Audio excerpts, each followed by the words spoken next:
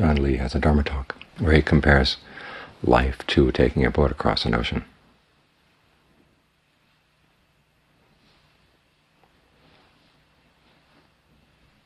And the problem out in the ocean is there's no fresh water.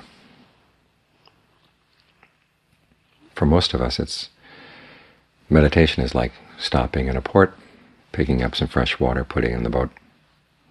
And then we go out to sea, and then we discover that we've run out of water. And so we have to go back to port. And as a result, we don't get very far. And if we're not careful, the winds will blow us away from the coast, and we find ourselves without any water at all.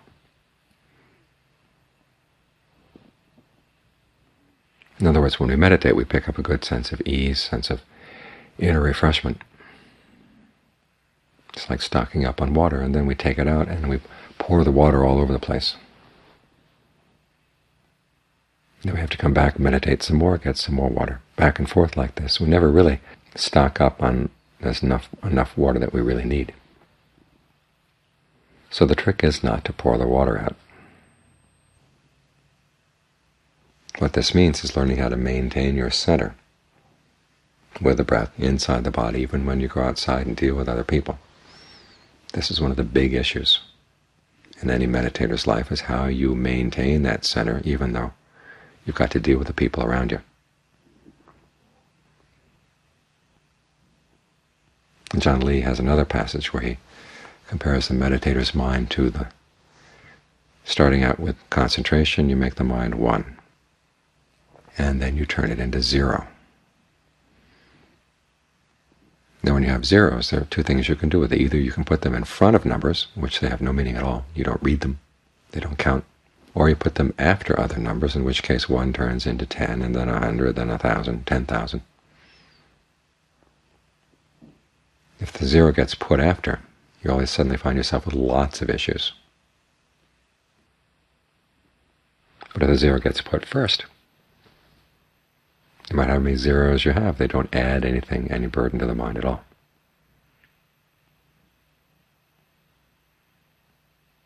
It's the same way with the, the mind becomes zero, and then it, you deal with other people, and what they say doesn't count. And it's interesting, he focuses on what other people say as one of the tests for a mind that's really at peace. The Buddha has a similar one in one of the Dhammapada verses. He says, when other people say harsh things to you and you don't reverberate like a cracked gong, he said that's that's a good test that you've attained true peace of mind. It might seem strange. And why is it that the test is what other people say or how you react to what other people say? Well, the mind is very sensitive to this issue. And we learn very early in our lives that our happiness is going to depend on how other people treat us. And as children, we're surrounded by people who are a lot more powerful than we are, so there's always a sense of fear built into our relationships to the people around us.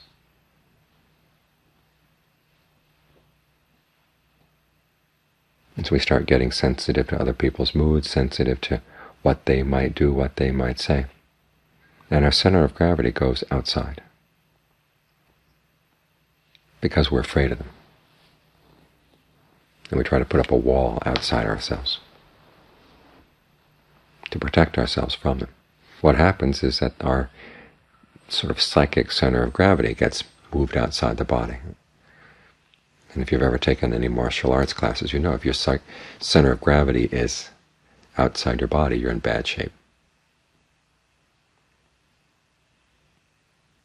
You're in a weak position.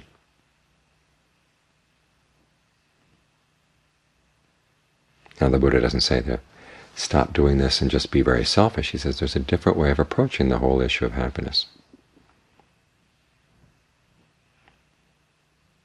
In other words, you find a source for happiness that doesn't take anything away from anyone else, so you don't have to be afraid of other people. When you're not afraid of them, you find that you should actually be more compassionate to them. So developing this center inside and maintaining it is not a selfish thing. It's not teaching you to be insensitive. It's just saying put yourself in a stronger position. then trust that you're stronger, but not trying to go outside and fix up people's moods and all the other things that we think we can do with other people when we're talking to them.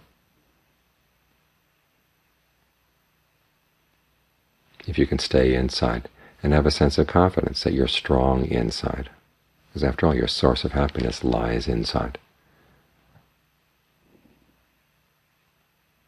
And because it's not taking anything away from anyone else, you don't have to be afraid of them.